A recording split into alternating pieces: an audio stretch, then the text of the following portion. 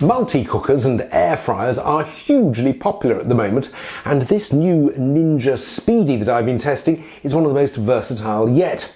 It boasts no less than 10 functions. They're all listed on the front here, including things like steam air fry, steam bake, bake and roast, dehydrate, sear and saute, even slow cook. One thing it doesn't have, incidentally, which many uh, Ninja machines do have, is a pressure cooker function.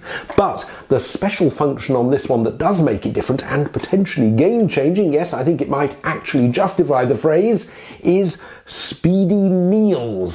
This uses a layered approach in the device to cook multiple things at once and cut down on washing up using fewer pots and pans and cooking things quicker.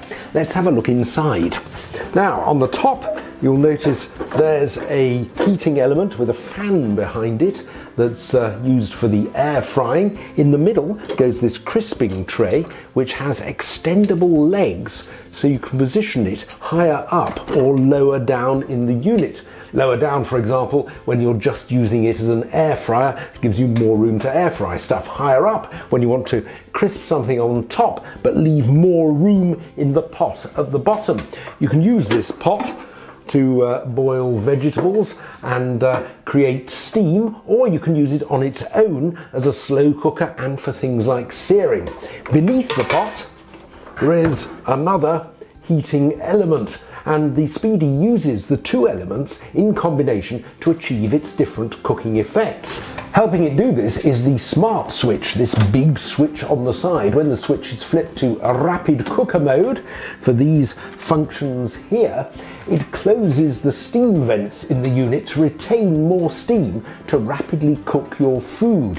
When it's flipped back to air fry mode, it opens the vents and lets more steam escape comes with a, useful recipe book to get you started, which incorporates useful descriptions as to how the different modes work. Better still, though, there's a menu builder on the Ninja website, which acts like an app and really helps creating really rather tasty meals, even if you've only got the minimum of ingredients. Typically, you might want to put some rice pasta or potatoes in the bottom, maybe with some additional veg, all sitting in some vegetable stock. Here goes.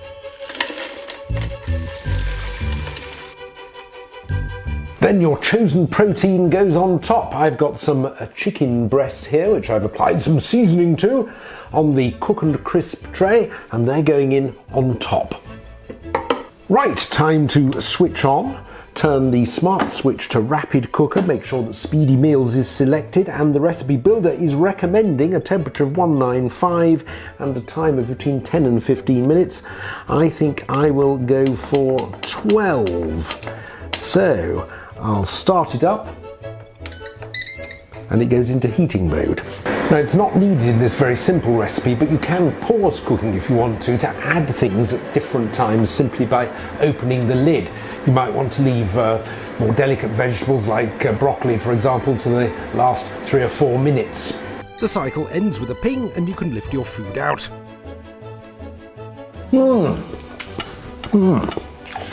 Very tasty fact, over the last few weeks, I've uh, found lots of things have cooked very well in the Ninja Speedi. I tried pasta with veg in the pot and salmon up top, wrapping the salmon in foil to help retain moisture. Lifting out the tray, incidentally, can be fiddly, even using the recommended silicon-tipped tongs.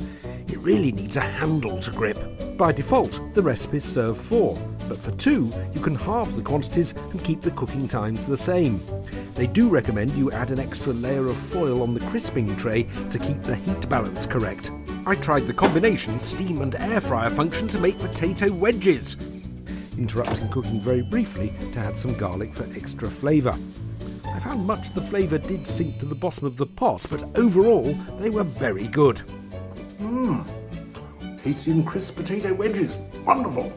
I also tried a recipe from the book for spiced quinoa and cod. Again, I liked the results. I think not wrapped in foil, the fish can be a bit dry, but it, works very well. It's a very tasty recipe, this, and very easy to do. Mmm. Mmm. Cleaning up is very easy. Both the pot and the crisping tray are non-stick and will go in the dishwasher if you prefer. Overall, I'm really impressed by the Ninja Speedi. It's just the kind of device that helps people like me, who are rather reluctant cooks, go into the kitchen and start making meals to look forward to. I can wholeheartedly recommend it.